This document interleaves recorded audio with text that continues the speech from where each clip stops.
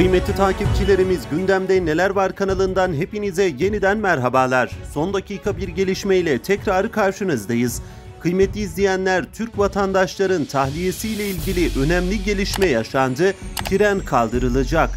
Türkiye Cumhuriyeti bölgedeki vatandaşlarının tahliye edilebilmesi için önemli bir çalışma yürütüyor.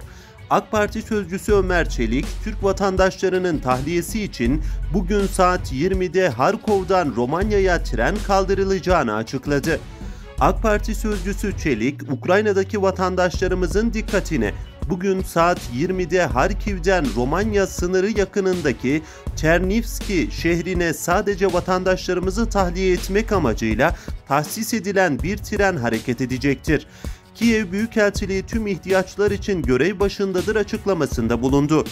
Konuyla ilgili Kiev Büyükelçiliği de açıklama yayınladı.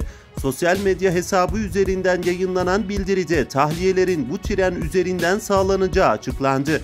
Türkiye'nin Kiev Büyükelçiliğinden yapılan açıklamada bugün saat 19'da Kiev'den Romanya sınırı yakınındaki Çernivski şehrine sadece vatandaşlarımızı tahliye etmek amacıyla tahsis edilen bir tren hareket edecektir. Tüm vatandaşlarımızın sokağa çıkma yasağı başlamadan önce güvenliklerine azami dikkat göstererek en geç saat 18'e kadar Kiev tren garına ulaşmaları gerekmektedir ifadeleri kullanıldı.